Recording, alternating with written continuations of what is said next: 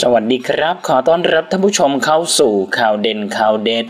จากสุแพทย์เตือนตาแดงน้ำตาไหลอาจเป็นอาการของโควิด เผยวิธีสังเกต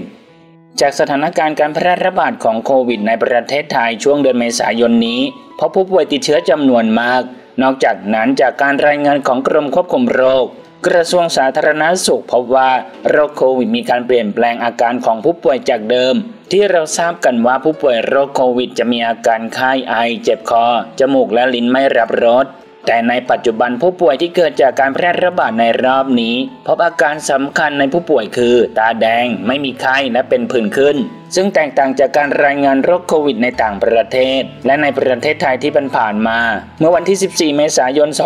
2564 ศาสตราจารย์วุฒิคุณนายแพทย์ศักชัยวงกิติรักษ์ ประธานวิชาการราชวิทยาลัยจักษุแพทย์แห่งประเทศไทย อาการทางตาที่สำคัญที่พบในผู้ป่วยโควิดปัจจุบันคือ อาการตาแดง คันบริเวณเปลือกตาน้ำตาไหล โดยอาจมีอาการทางตามาก่อนอาการไข้ หรือมีเฉพาะอาการทางตาโดยไม่มีอาการอื่นๆ ร่วมด้วยได้ ซึ่งจะเป็นช่องทางทำให้เกิดการแพร่กระจายเชื้อโควิดได้โดยง่าย ทั้งผ่านทางการหายใจหรือการสัมผัสสารคัดหลั่งจากดวงตาของผู้ป่วย ซึ่งอาจตรวจพบเชื้อโควิดในน้ำตาหรือขี้ตาของผู้ป่วยได้ ดังนั้นประชาชนและบุคลากรทางการแพทย์ ที่พบผู้ป่วยที่มาด้วยอาการทางตา คือตาแดงคันตาน้ำตาไหล ควรต้องระมัดระวังว่าอาจเป็นอาการนำของโรคโควิด เพื่อให้การวินิจฉัยและรักษาอย่างถูกต้อง ป้องกันการแพร่กระจายของเชื้อและความรุนแรงของโรคโควิด หากได้รับการรักษาที่ไม่ทันท่วงที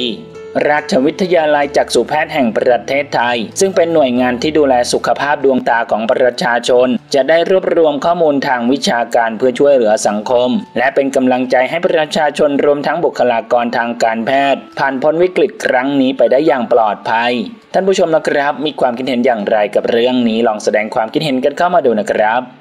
ขอขอบคุณข้อมูลจากมุมข่าวขอบคุณครับ